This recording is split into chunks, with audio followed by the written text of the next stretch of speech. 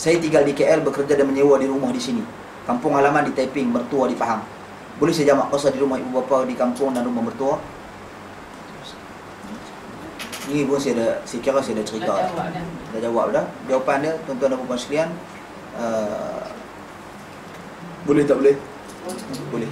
Berdalilkan Hadis Nabi sallallahu alaihi wasallam dia melihat kepada mana tempat kita tinggal. Nabi berasal di Makkahul Mukarramah.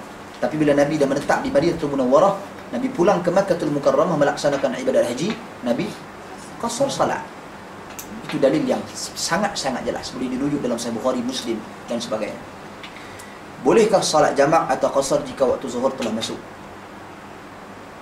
Waktu mula bermusafir naik bas kira-kira beberapa minit selepas masuk waktu zuhur dan tak sempat untuk solat. Saya tak faham. Bolehkah solat jamak atau qasar jika waktu zuhur telah masuk? Jamak dan Kita tak. Ni ni ni daripada mana ni? Daripada dari rumah dia ke atau dia dalam perjalanan? Perjalanan dia. Ha? Dia rumah belum gerak Dari rumah sebelum bergerak. Dari rumah sebelum bergerak dia hanya boleh solat jamak saja. Qasar tak boleh. Berdalilkan hadis Nabi sallallahu alaihi wasallam, Nabi ketika mana naik dari atas kenderaan ya, hawan tumbangan Nabi, Nabi mendengar azan zuhur, Nabi turun daripada kenderaan Nabi, Nabi tunaikan zuhur 4 rakaat, asar 4 rakaat.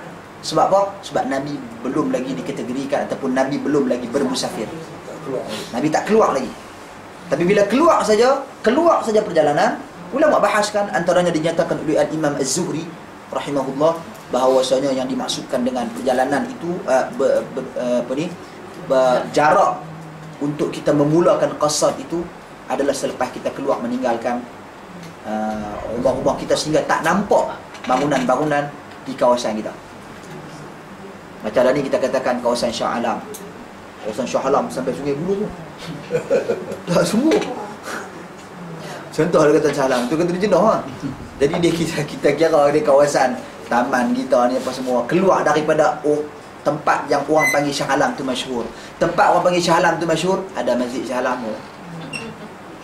Kan, section-section kat situ kira Alam masyhur. Keluar mai kat sini dah panggil PJ dah. Mai kat sini kira kita dah start boleh. Masuk kat Subang tu kira dah start boleh. Fasad dan jamak salat. Waktu mula musafir naik bas kira-kira beberapa minit selepas masuk zuhur dan tak sempat untuk salat. Macam mana ni? Waktu mula musafir naik bas atau naik bas kira-kira beberapa minit selepas oh selepas dan tak sempat untuk solat. Iyalah.